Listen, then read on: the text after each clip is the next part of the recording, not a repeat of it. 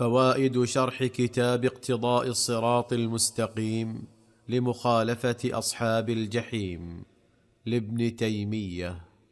فإن النبي صلى الله عليه وسلم كان يقرأ في الفجر بنحو الستين إلى المئة. يقرأ في الركعتين بطوال المفصل بألف لام ميم تنزيل وهل أتى وبالصافات وبقاف وربما قرأ أحيانا بما هو أطول من ذلك وأحيانا بما هو أخف. فأما عمر رضي الله عنه نعم نعم. فكان يقرأ في الفجر بيونس وهود ويوسف ولعله علم أن الناس خلفه يؤثرون ذلك. نعم هو المفصل القرآن أحزاب حزبه الصحابة أحزابا في صلاتهم بالليل وقراءتهم اليومية حزبوه إلى أحزاب ومنها حزب المفصل وهو حزب واحد وهو آخر القرآن ابتداء من سورة قاف إلى آخر القرآن هذا حزب واحد. سمي بالمفصل لكثرة الفواصل بين آياته بين آياته. وقيل المفصل أي أنه لم ينسخ شيء منه. من لم يدخله نسخ. النسخ كما في بقية القرآن. والمفصل يبدأ من سورة قاف وله آه، أطول وله متوسط وله قصير. فأطول آه، سور المفصل من قاف إلى سورة عمة.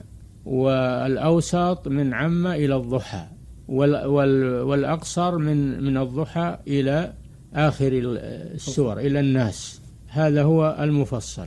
كانوا يقرؤون في كانوا يقرؤون في الفجر من طوال المفصل يعني من قاف إلى عمة.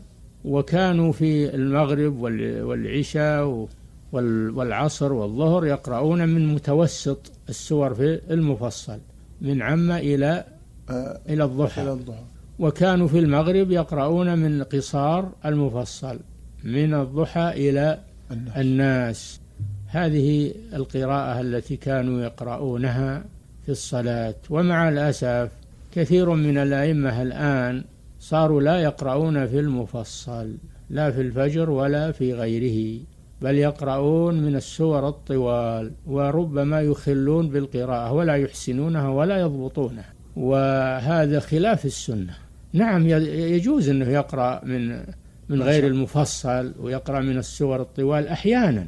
أما أنه يهجر المفصل ولا يقرأ منه أبدا هذا خلاف السنة. وهذا يشق على الناس. نعم. المفصل آياته خفيفة ولا يشق على الناس.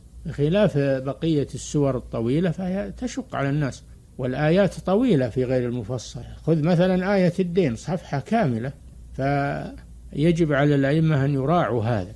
فهذا هو الغالب أنهم في الفجر يقرؤون من طوال المفصل وفي المغرب من قصاره وفي البواقي من أوساطه.